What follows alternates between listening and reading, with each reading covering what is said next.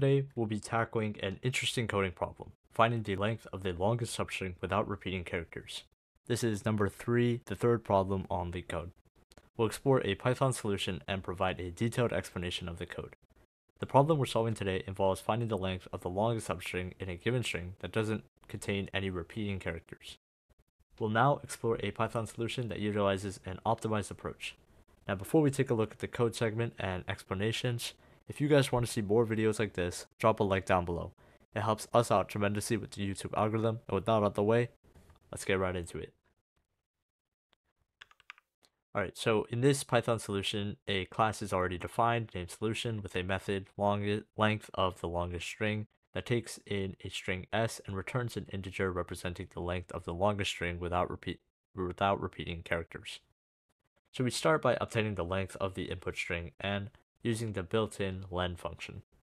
We initialize the maximum length of the string, max length to 0, we also create a list char index with a length of 128 corresponding to the ASCII character set.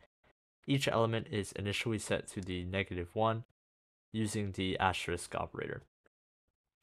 The left pointer is initialized to 0, marking the start of the substring.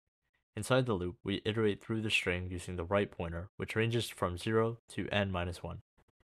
For each character, at s of right, we check if the last occurrence of the character is within the current substring. We do this by comparing char index or s right with left, or this right here. If the last occurrence is within the current substring, we move the left pointer to the right of that occurrence by setting it to char uh, index of that right there, or right here.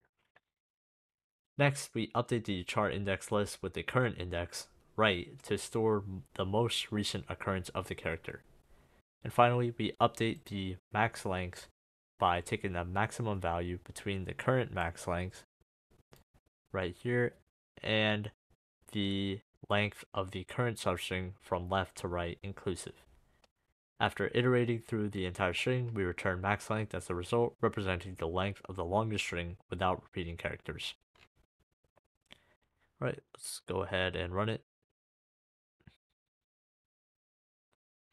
Alright, so that's going to be it for this video. If you guys enjoyed, drop a like down below. If you guys have any questions, leave a comment in the comment section. Subscribe for more, and we'll catch you in the next one.